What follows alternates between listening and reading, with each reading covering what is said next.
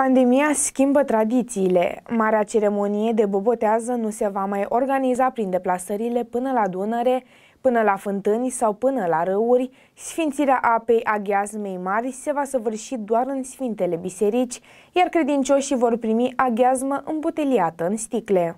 Și în Mehedinți, la fel ca în toată țara, ziua de bobotează se va desfășura diferit față de anii trecuți din pricina pandemiei. Pentru a evita o posibilă îmbolnăvire cu virusul SARS-CoV-2, credincioșii trebuie să respecte restricțiile impuse. Anul acesta, mehedințenii vor participa la sfințirea apei a gheazmei mari doar în sfintele biserici sau curțile acestora, ci nu ca în anii trecuți la malul Dunării Fântâni sau râuri. Reprezentanții Episcopiei Severinului și Strehaiei anunță condițiile în care se va desfășura slujba de bobotează. Anul acesta s-a luat decizia atât de la Patriarhie cât și în episcopiile din cuprinsul Patriarhiei Române, deși în episcopia noastră, ca uh, slujirea, sfințirea apei a gheazmei mari să se săvârșească doar în Sfintele Biserici sau în curțile bisericilor, uh, iar uh, procesiunile și toate aceste deplasări pe care le făceam în anii trecuți până la Dunăre, până la fântâni, până la râuri sau apele din cuprinsul parohilor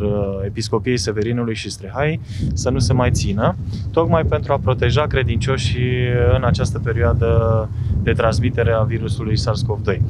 Uh, deci slujbele se vor ține doar în biserici, va fi Sfânta Liturghie, apoi Sfințirea apei Ghesmei Mari, care se face atât astăzi cât și mâine în ziua Bobotezei, uh, iar oamenii vor primi apa sfințită îmbuteliată în sticle, stând la rând și respectând uh, regulile de siguranță, adică purtarea măștii și distanțarea de 1,5 metri afară sau 2 metri în interiorul lăcașului de cult. Credincioșii speră că după această pandemie ne vom întoarce la tradițiile noastre milenare. Între timp, mâine vom primi aghiazmă îmbuteliată în sticle și nu ne vom mai îmbulzi ca în anii trecuți, ci trebuie să respectăm distanțarea de minim 2 metri.